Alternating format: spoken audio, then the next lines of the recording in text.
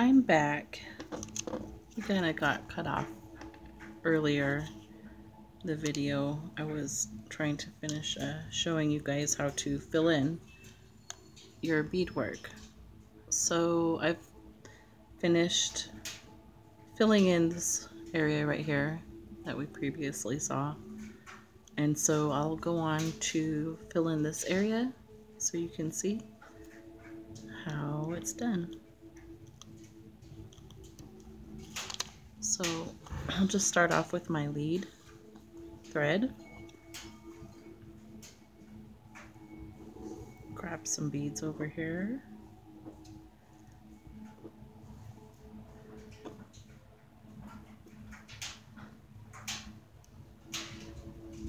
As you can see, I'm going to bead off of this hank right here. So I'm just gonna, gonna eyeball how many I need.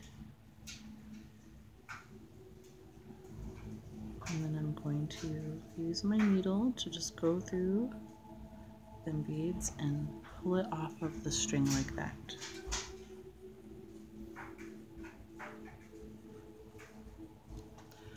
Now we're going to see if that fits. And looks like it's a couple beads too many, so we're gonna slide two off like that. And then I'm going to tack it down. I also forgot to mention earlier that if you don't feel comfortable um, with your tacking thread being open like this, how I showed you this tack thread is open on one side. Um, sometimes, you know, you just may not have all the right kind of thread at your disposal. It's hard to come by. You have to order online or have a specialty store nearby. Anyways, um, if you do have a smaller size thread like B or O or zero, whatever it's called, um, you can double up the thinner threads because you don't want to double up D thread. D thread, I believe, is the thickest thread that you can get for beading. Um, I prefer to use Nymo. It's spelled N-Y-M-O. Um, it doesn't fray as much as you're passing the needle through because, you know, especially if you're doing leather work, like working on leather, which will be my next video. I'm going to show you how to do lazy stitch on leather because I have a big project coming up that I have to work on. Um, when you're passing that that uh, thread through the leather, it really kind of beats that that thread up gets frayed pretty quickly. Um, but I really like Nymo. Nemo, Nymo, I'm not sure. You can order these online. This is size D. And sometimes they have smaller threads. And you can double up a thinner thread. Um, that's okay. I'm just saying the larger thread, the thick thread, the D, you don't want to double that up when you're beading because that'll leave big old gaps. Okay.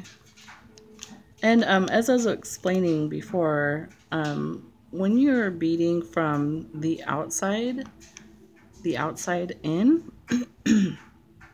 you need to be careful um, if you sometimes don't have the right kind of beading material, like uh, if it's kind of like a mushier felt. I don't have the right words, but um, what happens is if you're beading and you outline and then you bead inwards, if you're pulling your thread too tight, what will happen is it will start to concave in as you get towards the center part. And so that's kind of why you see where I kind of evenly went around all the edges and then I'm starting to fill it in a lot of times if maybe you have too much pressure on one area or as you're going inwards it'll start to concave and you don't want that you want everything to be nice and flat see like how I have right here, you know, I started all the edges and, you know, it seems to be fairly flat. Like there's no going concaving. You don't want that. And that's just from having the right kind of tension on your... Oh, and I also need to show you guys this.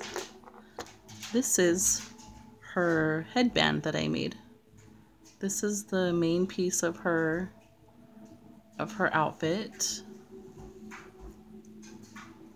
And look how beautiful and shiny that is. I love shiny stuff. That's why I like beads. It's like glitter that you can just put on stuff and it stays forever. so this is her little, this is the back I used of leather.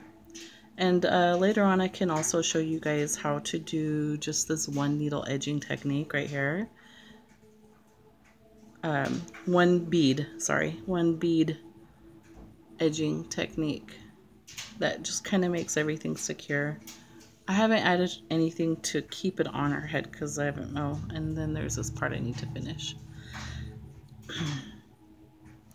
So anyways, let's finish up this little piece right here. And kind of when you get to the smaller areas, um, the more, you know, comfortable you get, you can just um, use one thread to just kind of, you know, lead thread and then tacking it down if you want. So turn that little bead right there. Oh, look at that. Shiny. Shiny is the best. So how I'm plugging up that little, now we're gonna go through here and get three beads.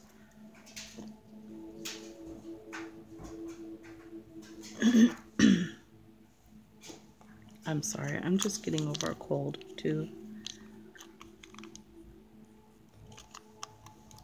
Or else I would have been finished with these a while ago.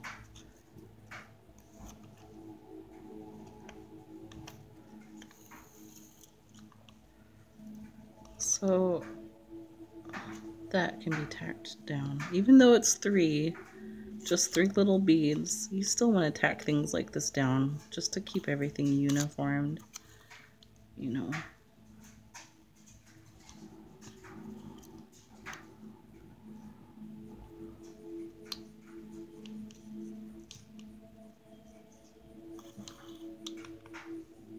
You see how that one side just kind of pops out every time I pass it through. I need to pull. See now what I'm going to do is because this little tail is getting close to, see how it's getting close to being two. I'm just going to slide my needle down a little bit further on the string and give me a little bit more slack. So I'm just going to take my needle.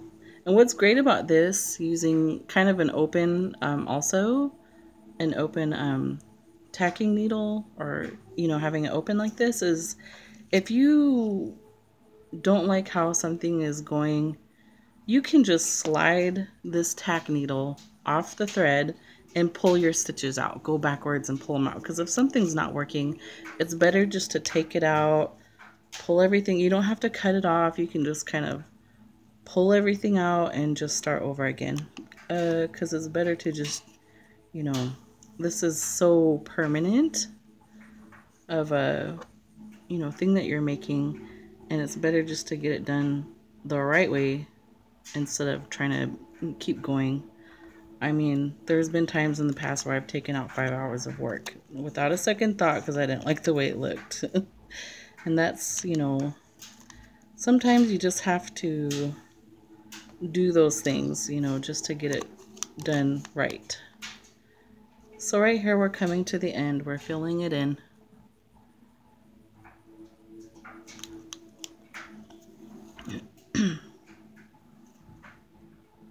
And there's going to be these times where you yeah look at we're just gonna plug all those little holes up right there with other beads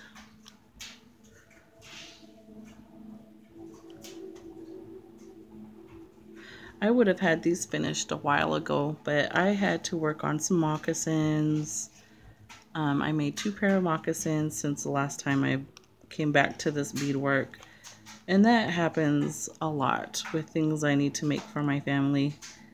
Um, I end up taking orders uh, to make things that are requested.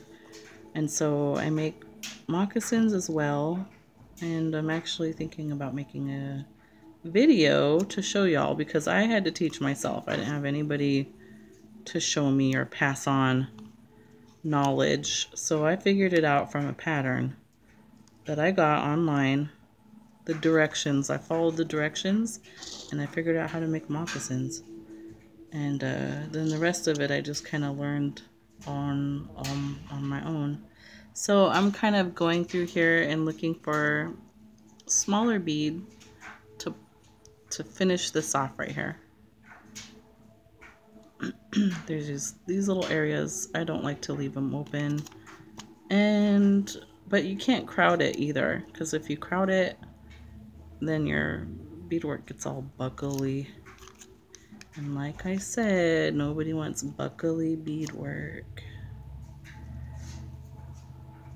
Oh, look at, and my thread got kind of tangled right there.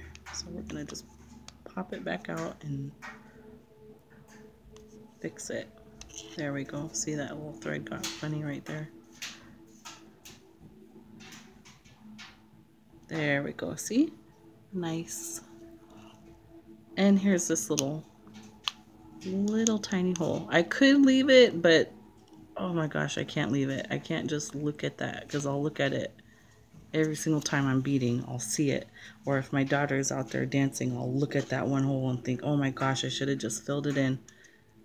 Yeah, I get kind of funny about things. So, I'm not finding too many beads. Oh, there's one.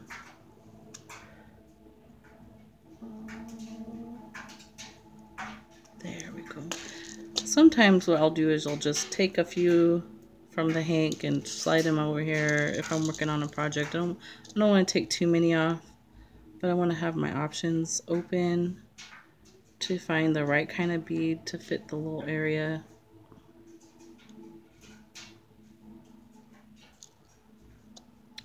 It looks like this one's the best candidate. So we're to fill this in right here. I'm just gonna pull it and hope that everything there. See, isn't that nice? So should we go on to the other one? I think so. You can probably be a good idea to just tie this off right here really quick. And I haven't showed you that yet.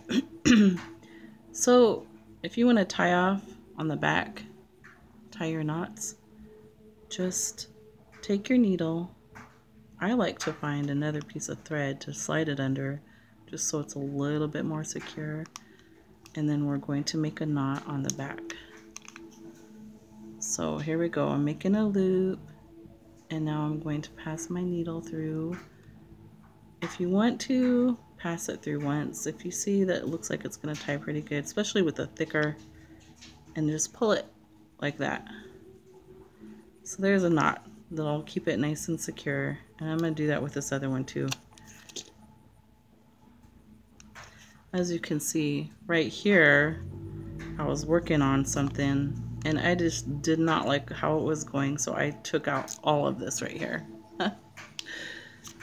so here I'm going to, I'm going to knot this side to it before I start it in on that other side.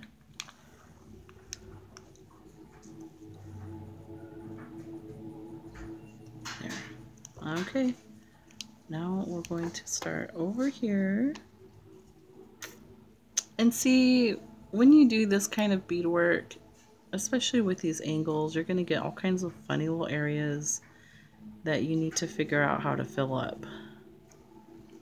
It looks like my best bet would to be just go right up against this other area side right here instead of trying to fill it in. You just kind of have to go with the flow and figure out what needs to be done. I like to keep my little threads short too, so it makes it easier to pull the beads off.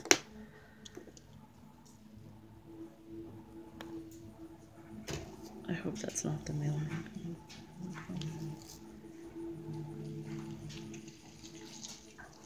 Alright, so I need to take probably four beads off of this darker blue.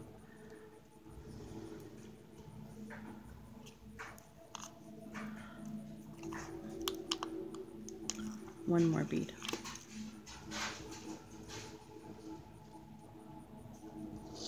Like my background music, it's a dryer and a washer and meditation music. the peaceful sounds of the household. I need to make my videos during the daytime when my kids are in school because if not, I could not get anything done. My kids are fun and wild. That's why I love them. Okay, here we go. So I kind of measured I measured it up and since this is kind of a, a curve I'm just going to go ahead and tack it down the lead thread right here and that's going to be really close see now if I were to tack this down with this bead right here once I start tacking down every two beads these beads are kind of just slowly move this way and it's going to end up buckling right here. So I'm just going to take this one off, this last bead. You don't want to force everything. Beading is not about forcing. It's about finding an absolute balance between the tension and the thread and the beads and kind of going with the flow. You don't want to force too much because if you force it then that's when you get your buckly buckly everything. You just want to find the balance. And you don't want to pull your thread too tight or have it be too loose because if it's too loose it won't hold the tack thread down or the lead thread down but if it's too tight then you start to get your um, buckling and concaving of your material. I don't remember if I already shared this story, but my grandmother taught me how to bead. And when she taught me how to bead, we used a grocery bag and fabric. And I stitched the grocery bag to the fabric. And then I beaded my thing, and I still have it. And then I had another friend teach me how to make my own backing with um, a pillowcase or a sheet and and flour and I made a flour mixture and I dipped you know the piece in and then I laid it flat and then I dipped another piece in the flour took all the excess flour off it was flour and water mix. And then I put about three together was a good three sheets of that flour water in the in the sheet the material. And then I let it dry and that's what I beaded on for a long time until I finally found EZ felt. And another um, viewer was asking me about the paper I, once you bead onto it see like right here I, I did I use a tearaway um, kind of, uh, what is it called? Uh, stabilizer. I get the tearaway kind. And so when you get to the end of your beading, you can just pull all of this off and you don't have to look at your, you know, and if you really want to get crazy, you can, uh, you can also color in your colors and then you don't have to see any white at all if you want to. And I do that sometimes but I didn't do it on this one because I'm just trying to get this done. see like those little facets? We're going to turn that one so look at that. You can see it shine. But yeah, before, before Jesus was like you know, 15, 20 years ago, that's what I beat it on was flour it was a flour paste and old sheets. And I mixed it all together and put it in dry and you have a nice hard flat piece of stuff to beat on. And I've heard people use baby cribbing. I've never used it before, but so then you also want to pay attention, especially when you're filling things in about the stacking of your beads, how you need to alternate it. It's good to pay attention to where your beads come together, and that really does make a difference in um, it does make a difference in the cleanliness, I guess is a good way. Um, uh, the cleanliness of your of your beadwork. I don't know what other word to use, but a nice clean lines. That's what we're looking for. And I think I'm channeling Bob Ross because uh, I'm going to put this tiny little bead. Happy little place to live. I love Bob Ross. Oh, this little this little bead is not going to join his friends. He's going to go over here and hang out at this party. uh, my kids love, love Bob Ross, and we watch Bob Ross all the time. Okay, so now we're just, you know, stitching. And when you uh, are doing corners like that, you want to stay consistent. You want to stack your beads. So here it's going this way and then this way, stacking it. And pay attention to that. You want to stack them in a nice clean manner and that really helps the overall look of your beadwork. You're really paying attention to the way that those lines are moving. Some people try to force a straight into a design and you really don't want to force it. You just want to kind of go along and see that bead's too big.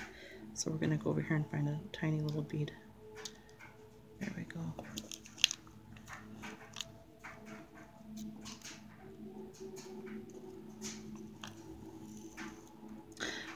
I think we will. I'm just to cruise through this really quick. Get it finished.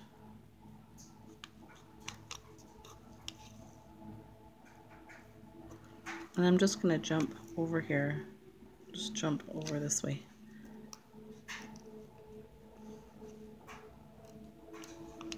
So how I'm trying to stagger the different colors. So I'm gonna go up, add three beads, four dark ones.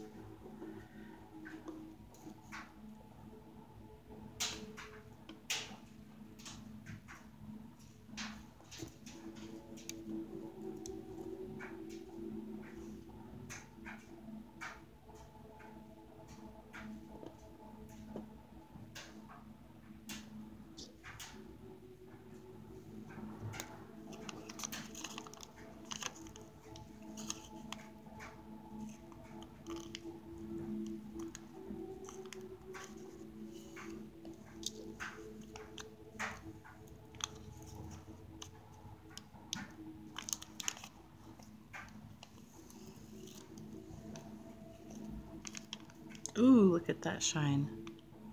Look at the sun starting to come over here. So it's going to start getting all kind of shiny up in here.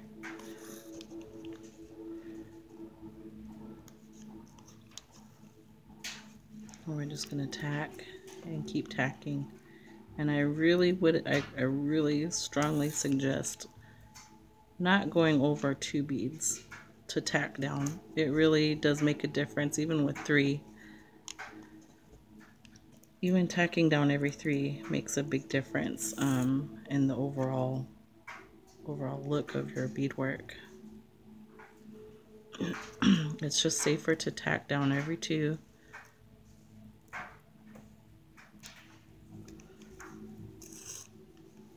I'm sorry, I keep scooting over here. My bad. So yeah, the pattern, um, I usually will draw out what I'm going to be beading on, you know, a piece of paper. You can just use paper if you're doing more of a, a graphical design or geometric, um, you it's best to use that um, graph paper that has all those lines and you can use that. You I use that quite a bit. I don't know what the heck it's called. It's got all them little squares on it.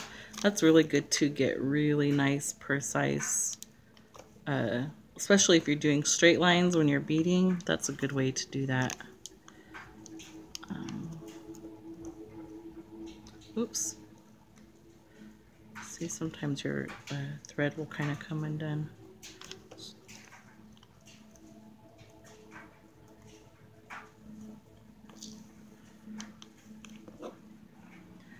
So now I, I'm at the end of this right here, so I'm just going to pull my last paint. Right, I'm just going to cut it open like that and leave it so I can just grab my beads off there.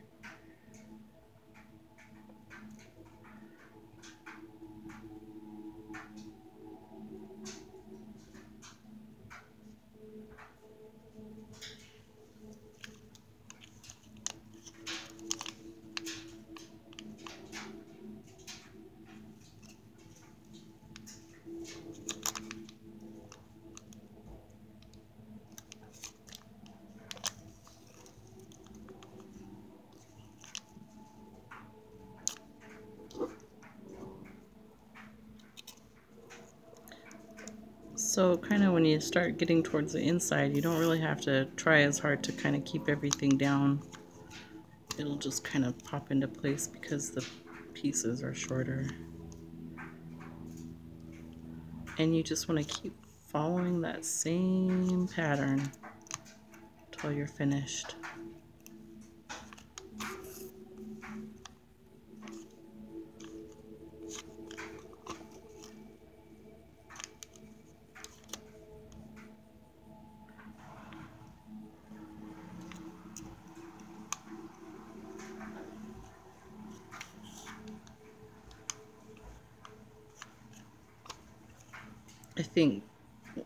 Thing I really like about beading is all the juggling you kind of have to do.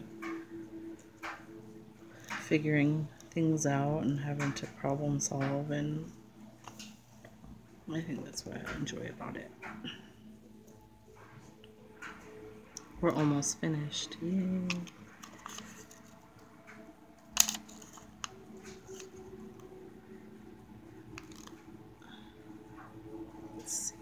perfect.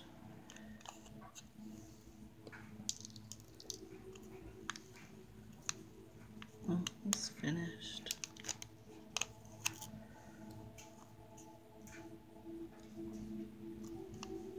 I keep going over here on this side of the screen. I'm sorry.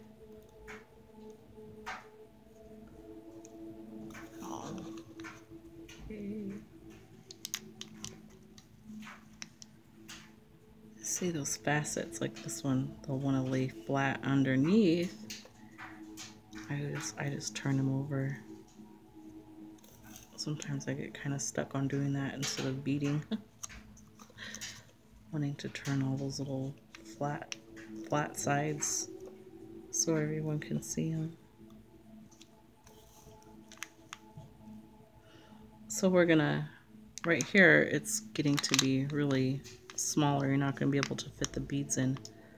So in this area, what I'm going to do is just take a few beads and um, that are sideways. So find the smallest, thinnest bead that you can find. If you can find one, just kind of takes a few minutes to look around. and just, oops, put it in that little area. Sometimes, ooh, like I can find, I found a smaller one over here.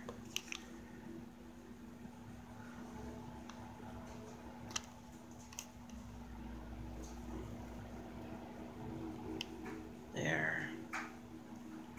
And then we're just going to fill in this one last area. Sometimes you'll encounter problems where this area is too small. So you just have to put in a row of sideways ones. That's what I would do.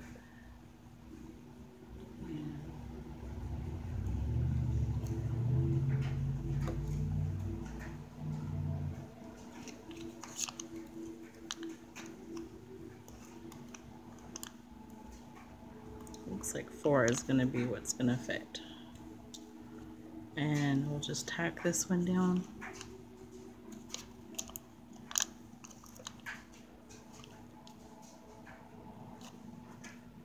Tack it down right. You know what? Since it's like, I'm not going to tack it down straight in the middle. I'm going to tack it down right here at the ends.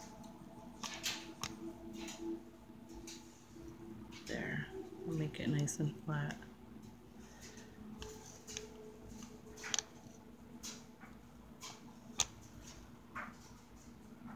There we go. And that's how you finish off the inside. Ta-da. I've got to show this again. Look how beautiful that is. And then that's the piece. And these two hair ties are going to be the pieces that go to her outfit. Thank you.